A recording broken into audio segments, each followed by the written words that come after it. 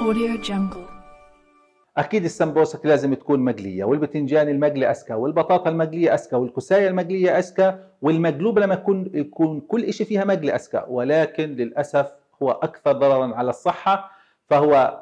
ممكن يسبب لنا الكوليسترول والدهون والسمنة اللي راح تسبب كثير من المشاكل يا ريت نرجع لعادات زمان إما الشوي أو استخدام البخار أو المسلوق ويتجنبوا المقالي قدر الإمكان